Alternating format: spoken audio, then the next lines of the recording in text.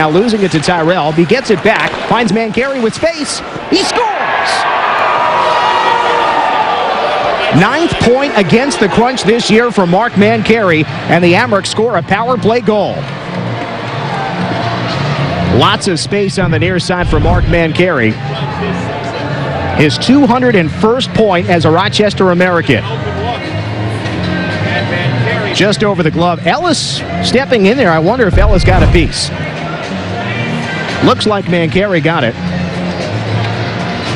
And Cody McCormick setting him up. Patrick Rismill.